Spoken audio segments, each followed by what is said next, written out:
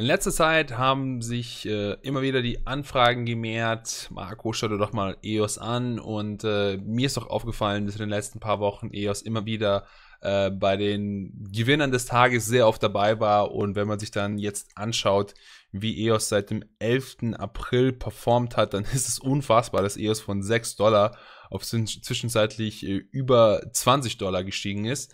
Ähm, wir schauen uns heute an, ob man in EOS noch investieren sollte oder lieber nicht.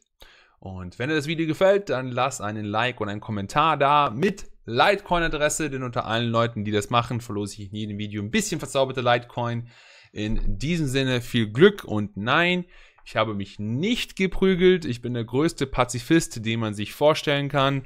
Ähm, ich habe gestern mit Freunden Fußball gespielt, war im Kasten und habe den Ball voll in die Fresse bekommen. Und ähm, da ich eben privat eine Brille trage, wurde mir durch die Wucht des, des äh, Aufpralls ähm, der Rahmen der Brille ins Face gedrückt und hat hier, hier und hier ein paar Wunden hinterlassen, aber ansonsten geht es mir wirklich wunderbar. Vielen Dank der Nachfrage, es braucht sich keiner Sorgen machen. Ähm, auf Market Over, auf Coincheckup finde ich, sieht man auch besonders schön, wie EOS im Vergleich zu den anderen Kryptowährungen performt, vor allem im, der, im 90-Tages-Horizont. Im Zeitraum von 90 Tagen, so hört sich das besser an, äh, sieht man, dass EOS und zum Beispiel auch Tron eine der Gewinner sind ähm, aber EOS, man darf auch nicht vergessen, EOS mittlerweile äh, Top 5, also da wird es auch ein bisschen knackiger. Und äh, in 30 Tagen 200% absolut fantastisch. Sieht man auch vor allem äh, in den letzten paar Tagen, was EOS gemacht hat. Also unfassbar, wie schnell EOS da äh, gestiegen ist. Glückwunsch an all diejenigen, die in EOS investiert haben frühzeitig und diese und ja, ähm, auf dieser Rakete to the Moon jetzt mitfliegen. Ähm, mein Ratschlag an all diejenigen, die jetzt äh, praktisch hier die, die EOS-Rakete reiten, ist wirklich unbedingt äh, auch mal dran denken, äh, Profite reinzuholen. Denn im Dezember und Januar haben ja viele von uns, einschließlich mir, gedacht, ähm, dass das Ganze ewig so weitergehen kann und äh, vielleicht ein bisschen zu gierig geworden und nicht daran gedacht, auch mal ein paar Profite zu sichern. Ähm, man muss nicht alles verkaufen, man muss nicht die Position komplett auflösen, aber zumindest einen Teil sollte man meiner Meinung nach verkaufen, um einfach nur ein paar Profite zu machen. Ähm, in der Kryptowelt habe ich das Gefühl, dass eben weil viele Investoren recht jung sind und äh, den Dezember und Januar halt gewohnt sind, äh, denken, dass so für 10, für 20-fachungen komplett normal sind ähm, und vergessen dabei, dass zum Beispiel bei Aktien kann man froh sein, wenn man in einem Jahr 6% gemacht hat. Also da ähm, ist, es, ist es überhaupt keine Schande, zu früh Profite rauszuholen. Meiner Meinung nach lieber auf der sicheren Seite sein, als sich dann später in den Arsch beißen. Ähm, EOS wird ja von vielen als der absolute Ethereum-Killer genannt. Ähm, Smart Contracts, ICO, alles Mögliche ist mit e alles kann man mit EOS machen. Und einer der größten Vorteile von EOS ist natürlich, dass man nicht auf die eigene Programmiersprache von Ethereum Solidity zurückgreifen muss, sondern man kann zum Beispiel C verwenden. Ähm, das ist auch für mich meiner Meinung nach einer der größten Nachteile von Ethereum. Also wenn ich jetzt zum Beispiel, EOS ist ja eine Plattform für dezentralisierte Apps, ja.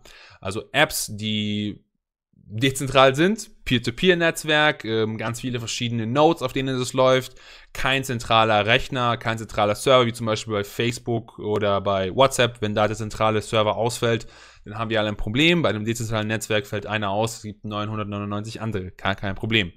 Ähm, wenn ich jetzt zum Beispiel ein Hersteller wäre von irgendeiner Software oder von irgendeiner App, ähm, und ich hätte die Wahl, ob ich jetzt das Ding auf Ethereum oder auf äh, EOS lassen möchte oder beziehungsweise entwickeln lassen möchte, dann würde ich doch eher versuchen, es auf EOS zu machen. Einfach nur aus dem Grund, weil bei ähm, Ethereum muss ich erstmal einen, einen Programmierer finden, der äh, Solidity beherrscht, die Programmiersprache von Ethereum.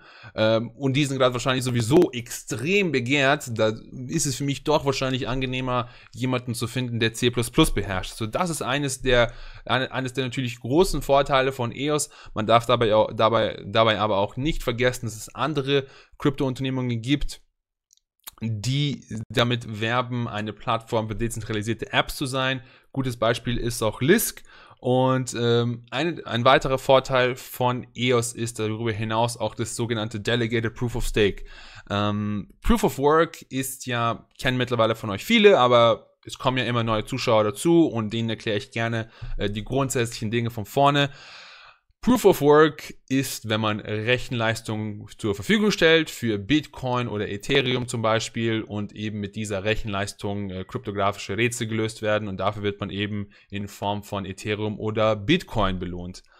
Ist Sicher, allerdings ist der Nachteil, dass dadurch äh, sehr viel Energie verschwendet wird und äh, sehr die Umwelt sehr stark belastet wird. Bei Proof of Stake ist es so, dass es ein bisschen weniger, also ein bisschen unsicherer ist als Proof of Work, allerdings ist es natürlich deutlich sicherer für die um äh, deutlich schonender für die Umwelt.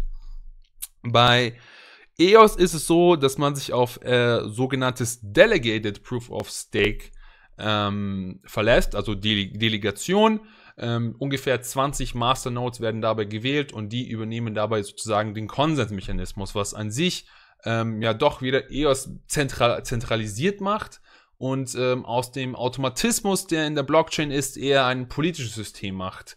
Ähm, wie das Ganze langfristig funktioniert, können wir jetzt nicht sagen. Vielleicht wird es gut sein, vielleicht wird es auch nicht sein. Das muss man sich allerdings bewusst machen, dass es 20, ungefähr 20, 21 Masternodes geben wird bei EOS. Also ähm, das auf jeden Fall bewusst machen. Und ähm, darüber hinaus gibt es aber noch andere Dinge, die bei EOS im Vergleich zu Ethereum durchaus vorteilhaft sein sollen. Die Hersteller sprechen von eine Million Transaktionen pro Sekunde, was natürlich enorm viel wäre im Vergleich zu den ein- bis zweistelligen Transaktionen pro Sekunde, die Bitcoin oder Ethereum machen. Ähm, gibt es gar keine Fees und natürlich ist es einfach, dezentralisierte Apps zu kreieren, wenn man C++ verwenden kann. Das Team verfügt an Erfahrung. Ähm, EOS hat sich rasant entwickelt und natürlich sitzt EOS auf einem riesigen Haufen Kohle. Das ist ein Vorteil, aber für mich auch zu einem gewissen Maß ein Nachteil, weil ähm, ein Projekt muss nicht unbedingt mit Milliarden von äh, Dollars gefördert werden. Ähm, wenn ein Team gut ist, dann kann es auch mit einem Bruchteil von dem Geld sehr viel erreichen versus ein schlechtes Team mit sehr viel Geld. Ähm, und darüber hinaus hat doch der Dan Larimer, äh, der CEO, eine, ja, der hat Steemit gemacht, der hat BitShares gemacht und das ganze Projekt dann irgendwann mehr oder weniger verlassen. Also das sollte man auch sich bewusst machen, wenn man so eine fundamentale Analyse macht. Ähm, aber wie gesagt, ich will jetzt nicht werten oder sowas, ich will einfach nur äh, den Zuschauern so viele Informationen wie möglich über EOS geben, bevor man in den Coin investiert. Ähm, soll man in EOS investieren? Äh, die meisten würden hier natürlich sagen, nein. Einfach nur aus dem Grund, weil, weil es natürlich so ist, dass nach so einem in All-Time-Highs investieren war doch niemals eine schlaue Idee. Ähm, wer in EOS einsteigen möchte, sollte vielleicht noch ein bisschen warten, ähm, ein paar Tage, paar Wochen, was auch immer benötigt wird, um auf, ein paar, auf äh, wieder ein normales Level zu kommen. Aktuell äh, würde man einfach nur auf einen sehr teuren Preis einsteigen. Ähm, das zumindest fundamental, aber man darf auch nicht vergessen, und ähm, da bin ich auch manchmal schuldig, es nicht genau genug zu sagen. Ähm, es ist so, dass man natürlich auch den Anlagehorizont betrachten muss, weil zum Beispiel, wenn du jetzt ähm, EOS für 20 Dollar kaufst, EOS aber in einem Jahr 2000 Dollar wert ist, dann wird es keinen ärgern, dass man damit 20 Dollar eingestiegen ist. Es gibt auch sehr viele Menschen, die Bitcoin für 1000 Dollar gekauft haben, damals, als Bitcoin den ersten Hype hatte und dann frustriert verkauft haben und Verluste gemacht haben.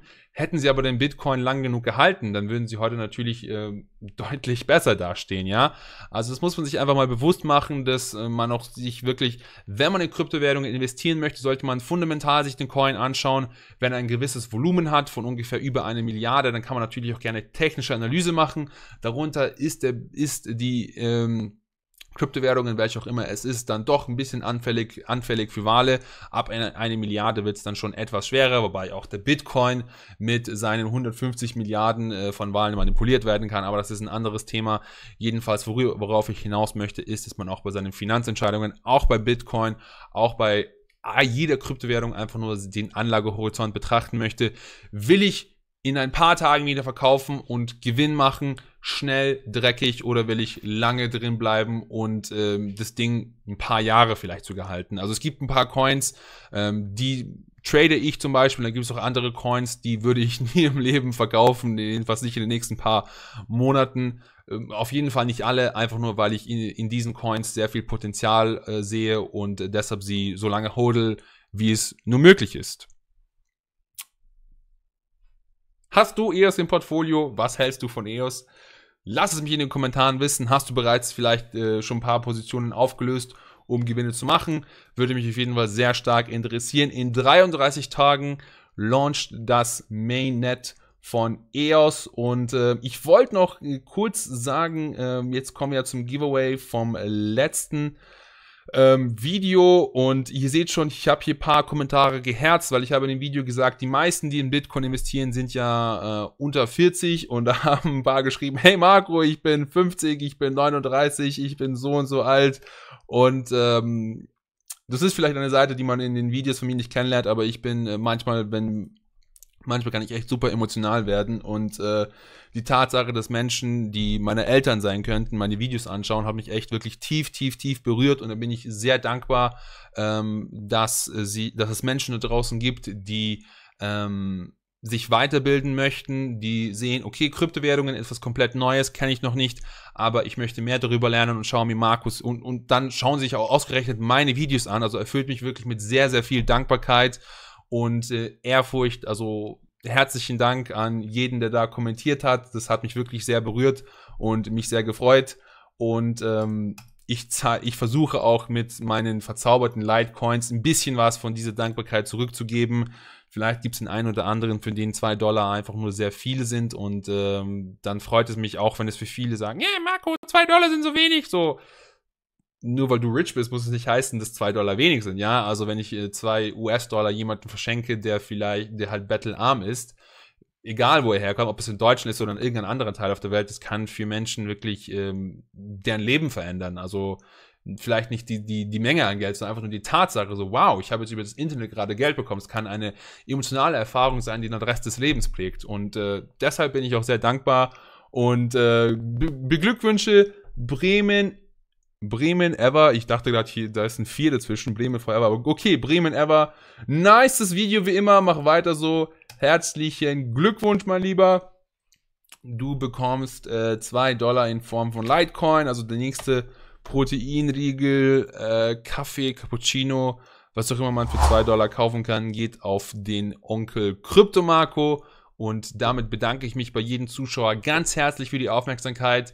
Bitte daran denken, dass alles in diesem Video meine persönliche Meinung ist und keine Finanzberatung. Danke fürs Zuschauen, viel Glück beim Investieren. Bitte vorsichtig investieren, denn Kryptowährungen sind sehr volatil. Ein paar Prozent vom Nettoeinkommen sind schon genug zum Investieren bei den meisten. Und damit sage ich Danke fürs Zusehen. Bis zum nächsten Mal. Ciao.